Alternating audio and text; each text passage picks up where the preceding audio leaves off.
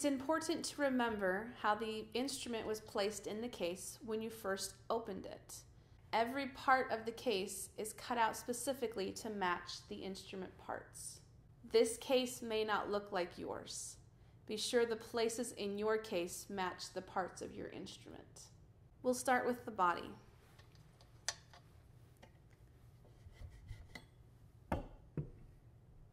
Your body cap inserts at the top and it protects this piece from bending in the case while it's stored.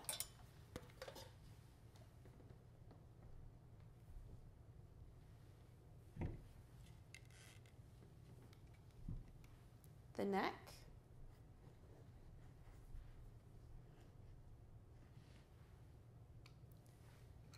The mouthpiece ligature and cap.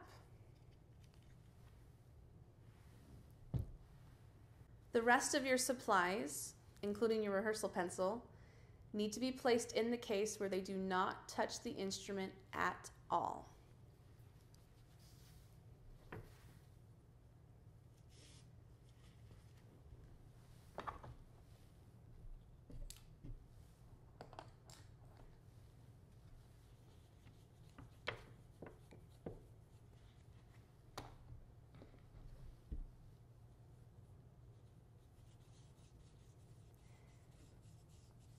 If you happen to have any supplies that do not fit in the compartments available, you'll need to get a second container or a bag to put those items in. Even if your case seems like it's big enough, never place music or books on top of your instrument and store it shut. This will damage a lot of keys on your instrument and it's not worth the trouble. Find a separate folder or bag to put those in.